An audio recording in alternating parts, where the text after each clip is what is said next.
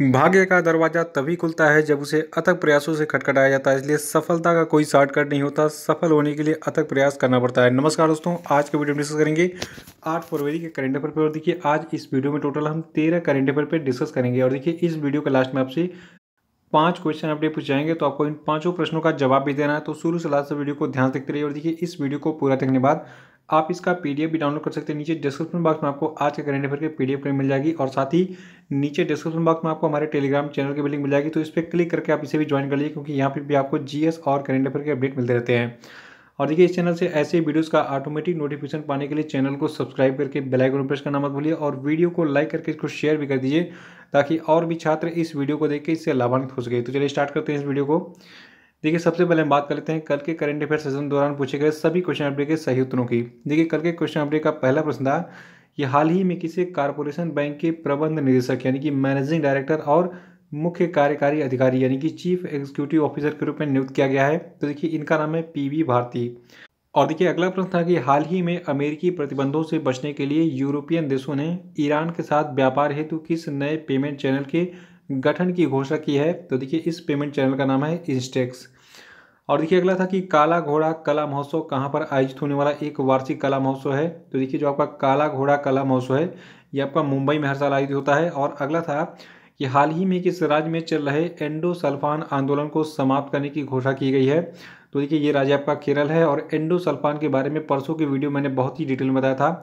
और एंडोसल्फान के बारे में अब तक जो है कई साल से जो है एग्ज़ाम में लगातार पूछा जा रहा है। तो आप जो है परसों का वीडियो देखिए, इसको रिवाइज कर लीजिएगा। और देखिए, अगला था कि अमेरिकी डेमोक्रेटिक पार्टी की किस हिंदू महिला उम्मीदवार ने हाल ही में वर्ष 2020 के राष्ट्रपति चुनाव लड़ने की घोषणा की है? तो देखिए, इनका नाम है तुलसी गेबार्ड। और आज के करंट अफेयर का पहला प्रश्न है कि हाल ही में रिज़र्व बैंक ने रेपो दर को तत्काल प्रभाव से छः दशमलव पाँच प्रतिशत से घटाकर कितने प्रतिशत कर दिया है? तो देखिए, रिज़र्व बैंक ने रेपो दर यानी कि रेपो रेट को तत्काल प्रभाव से छः दशमलव पाँच प्रतिशत से घटाकर छः दशमलव दो पाँच प्रतिशत कर दिया है। तो आपको नए डाटा याद रखने हैं और ये एग्ज़ाम में पूछा भी जाएगा। तो देखिए, वर्तमान में जो आपका रेपो दर है, यानी कि रेपो रेट है, ये छः दशमलव दो पाँच प्रतिशत है और जो आपका रिवर्स रेपो दर, यानी कि रिवर्स रेपो रेट है, ये आपका छः दशमलव शून्य प्रतिशत हो गया है। तो ये दोनों डाटा नोट कर लीजिए, एग्ज़ाम में पूछा जाएगा और देखिए, थोड़ा सा हम बात कर लेते हैं कि रेपो रेट और रिवर्स रेपो रेट क्या होता है, क्योंकि एग्ज़ाम में कई बार पूछा गया है ये। तो देखिए, जो आपका रेपो रेट है, ये वह दर होता है जिस पर बैंकों को रिज़र्व बैंक ऑफ़ इंडिया जो है, ये कर्ज देता है। और बैंक जो है इस कर्ज से ग्राहकों को ऋण देते हैं और जो आपका रेपो रेट होता है, इसके कम होने से मतलब क्या होता है और इससे फ़ायदा क्या होता है? देखिए रेपो रेट अगर कम किया जाता है तो इससे जो है बैंकों से मिलने वाले कई तरह के जो कर्ज होते हैं, वो सस्ते हो जाते हैं, जैसे कि आपका होम लोन सस्ता हो जाता है और व्हीकल लोन वगैरह जो है ये सस्ते हो जाते हैं। और रिवर्स रेपो रेट क्या होता है? देखिए रिवर्स रेपो जो है इसके नाम से ही पता चल रहा है कि ये आपका जो है रेपो रेट से उल्टा है, ठीक है? यानी कि रेपो रेट का रिवर्स है। तो देखिए, जो आपका रिवर्स रेपो रेट है, ये वह दर होता है जिस पर बैंकों को उनकी ओर से आरबीआई में जमा धन पर ब्याज मिलता है। तो ये खास बात आपको याद रखना है रेपो रेट और रिवर्स रेपो रेट के बारे में इसको नोट भी कर लीजिए एग्ज़ाम में कई बार पूछा भी गया है। और देखिए, थोड़ा सा हम बात करते हैं रिज़र्व बैंक ऑफ़ इंडिया की। देखिए रिज़र्व बैंक ऑफ़ इंडिया का मुख्यालय आपका मुंबई में है और इसके वर्तमान में गवर्नर हैं शक्तिकांत दास। और देखिए, दूसरा प्रश्न है कि निम्नलिखित में से किसे हाल ही में नागरिक उड्डयन सचिव नियुक्त किया गया है? तो इनका नाम है देखिए प्रदीप सिंह खरोला। तो आपको एक लाइन में सरल शब्दों में याद रखना है कि प्रदीप सिंह खरोला को हाल ही में नागरिक उड्डयन सचिव के रूप में अपॉइंट किया गया है।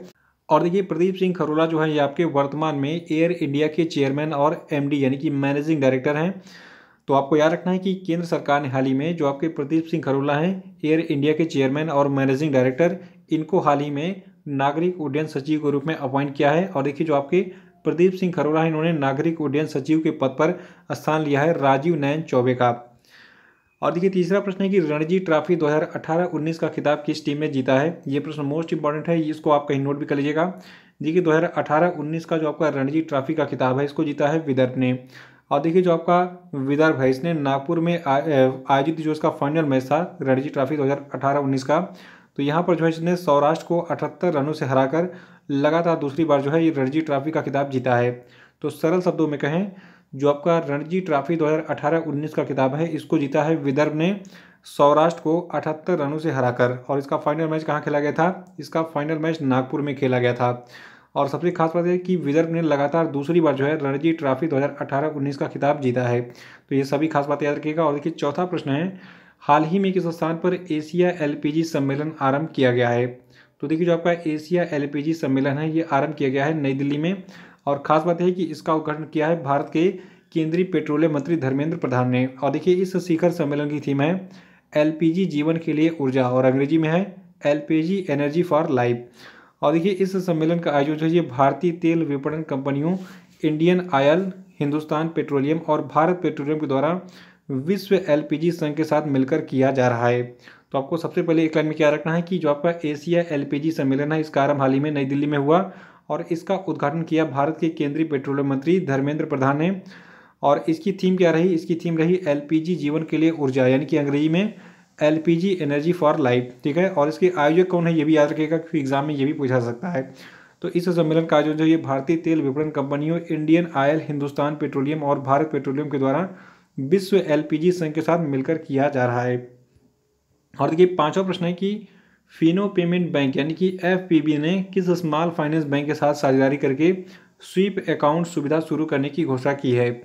तो देखिए, इस स्मॉल फाइनेंस बैंक का नाम है सूर्योदय स्मॉल फाइनेंस बैंक, जिसको शार्ट में जो हम एस एस एफ़ बी के नाम से जानते हैं। तो फिर से बता दूँ सरल शब्दों में कि फिनो पेमेंट बैंक ने हाल ही में सूर्योदय स्मॉल फाइनेंस बैंक के साथ साझेदारी करके स्वीप अकाउंट सुविधा शुरू करने की घोषणा की है।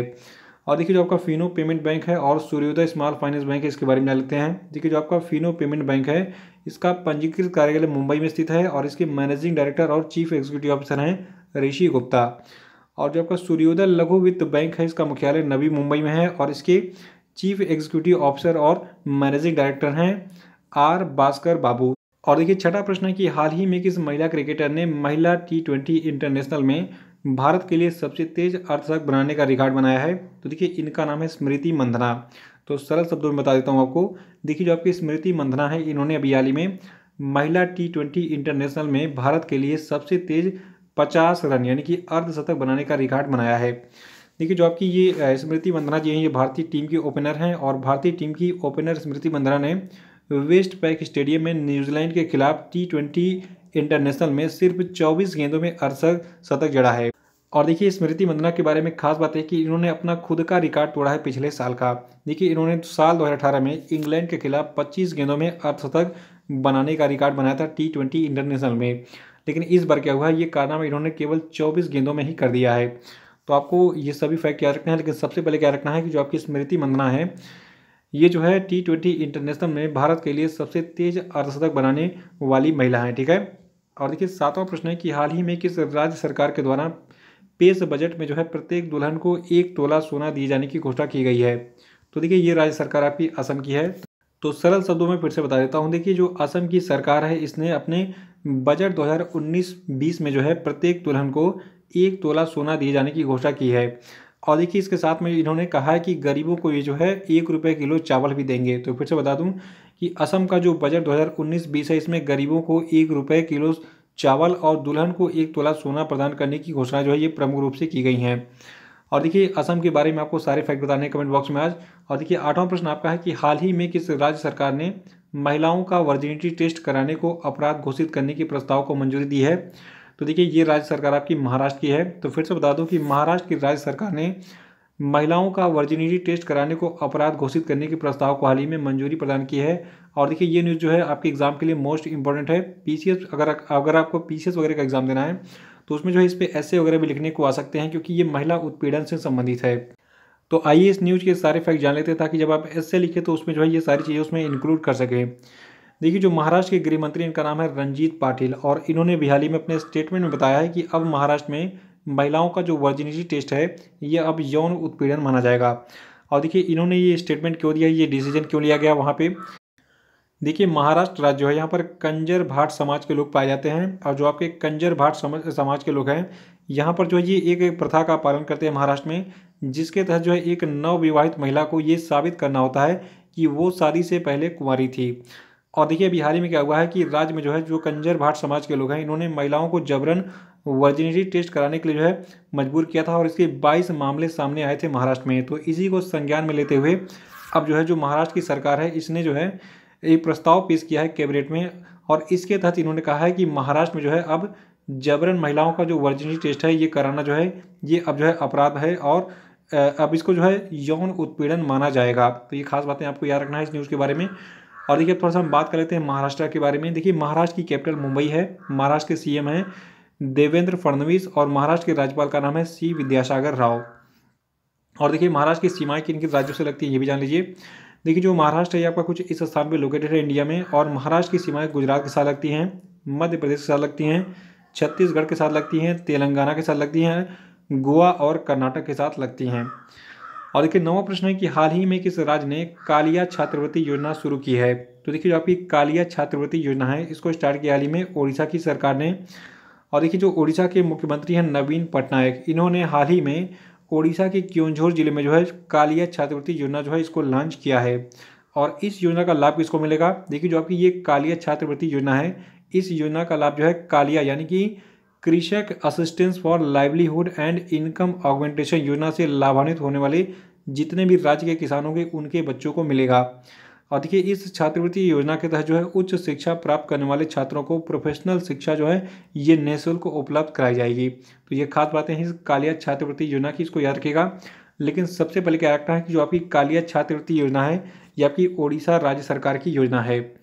और देखिए, ओडिशा के बारे में बात कर लेते हैं। देखिए, ओडिशा की कैपिटल भुवनेश्वर है, ओडिशा के राज्यपाल हैं गणेशी लाल और ओडिशा के मुख्यमंत्री हैं नवीन पटनायक। और देखिए, ओडिशा का जियोग्राफिकल लोकेशन और उसकी बाउंड्रीज देख लेते हैं। देखिए, ओडिशा जो है, ये इंडिया में कुछ इस स्थान पर लोकेटेड है और ओडिशा सीमा बनाता है पश्चिम बंगाल के साथ, झारखंड के साथ, छत्तीसगढ़ के साथ और आंध्र प्रदेश के साथ। और देखिए, दसवां प्रश्न है कि सिनेमेटोग्राफ संशोधन विधेयक 2019 के अनुसार पायरेसी और कॉपीराइट मामलों का उल्लंघन करने पर कितने साल की सज़ा हो सकती है? तो देखिए, अब टोटल जो है, तीन साल की सज़ा हो सकती है। तो इस चीज़ को सरल शब्दों में आपको बता देता हूँ। देखिए, जो आपका सिनेमेटोग्राफ संशोधन विधेयक 2019 है, इसके अनुसार आप पायरेसी और कॉपीराइट मामलों का उल्लंघन करने पर किसी भी व्यक्ति को तीन साल की सज़ा हो सकती है। और देखिए, इसके साथ में कुछ और भी प्रावधान किए गए हैं। देखिए, यदि कोई भी व्यक्ति सिनेमेटोग्राफ संशोधन विधेयक द्वारा उन्नीस की धारा छः ए के प्रावधानों का उल्लंघन करता है तो उसे तीन साल तक का कारावास या फिर दस लाख रुपए तक का जुर्माना या फिर दोनों की सज़ा जो है उसको दी जा सकती है। तो ये खास बात आपको रखना है। सिनेमेटोग्राफ संशोधन विधेयक 2019 के बारे में। और देखिए, ग्यारहवा प्रश्न है कि हाल ही में किस राजनेता ने बाढ़ में लोगों को बचाने वाले केरल के मछुआरों को शांति का नोबेल पुरस्कार दिए जाने की सिफारिश की है? तो देखिए, इनका नाम है शशि थरूर। तो फिर से बता दूँ कि हाल ही में जो आपके शशि थरूर जी हैं, जो कि कांग्रेस के लीडर हैं, इन्होंने बाढ़ में लोगों को बचाने वाले केरल के जो मछुआरे हैं, उनको शांति का नोबेल पुरस्कार दिए जाने की सिफारिश की है। और देखिए, इसके लिए इन्होंने खास कदम उठाया है। देखिए, जो कांग्रेस के सांसद हैं शशि थरूर, इन्होंने केरल में पिछले साल आई जो भीषण बाढ़ है, इसके दौरान लोगों की जिंदगियाँ बचाने वाले राज्य के जो मछुआरे हैं, इनको शांति का नोबेल पुरस्कार देने की सिफारिश की है और इस संबंध में इन्होंने जो है नॉर्वे की नोबेल समिति के अध्यक्ष को पत्र भी लिखा है। तो देखिए, अब इनको नोबेल पुरस्कार मिलता है या फिर नहीं मिलता है, क्योंकि कई लोगों की सिफारिश की जा चुकी है अब तक शांति के नोबेल पुरस्कार 2019 के लिए। तो ये खास बातें अभी याद रखिए। और देखिए, बारहवा प्रश्न है कि केंद्र सरकार ने पूंजी स्कीमों पर पूरी तरह से रोक लगाने के उद्देश्य से हाल ही में कौन से विधेयक में संशोधन किया है?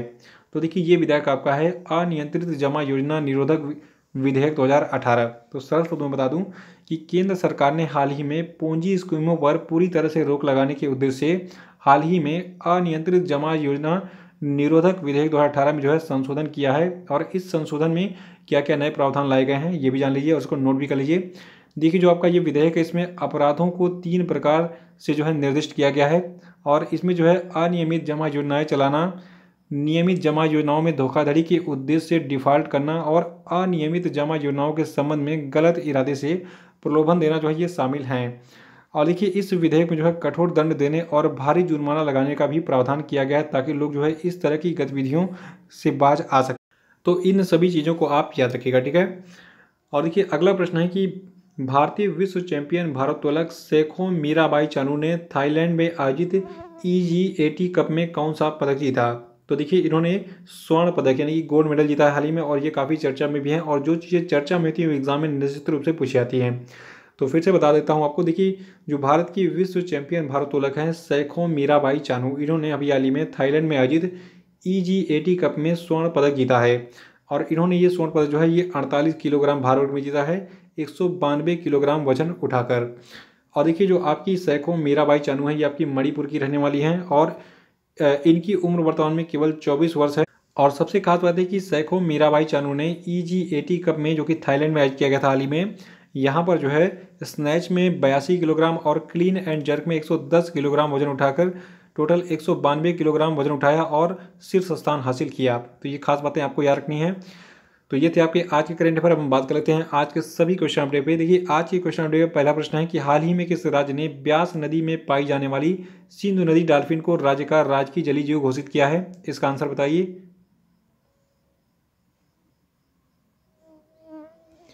और देखिए, अगला प्रश्न है कि हाल ही में इसरो के द्वारा लॉन्च किए गए चालीसवें संचार उपग्रह का क्या नाम है? तो इस संचार उपग्रह के बारे में बताइए। मैंने कल बहुत डिटेल में आपको बताया था। देखिए उपग्रह के साथ साथ आपको बताना कि ये किसके द्वारा, यानी कि किस रॉकेट के द्वारा लॉन्च किया गया था, ठीक है? और कहाँ से लॉन्च किया गया था? और देखिए, अगला प्रश्न है कि हाल ही में किसने centre of international modern art पुरस्कार 2019 जीता? इनका नाम बताइए से। और अगला प्रश्न है कि हाल ही में पीएनबी मेट लाइफ ने किसे अपने ब्रांड एम्बेसडर के रूप में नियुक्त किया है? इनका नाम बताइए।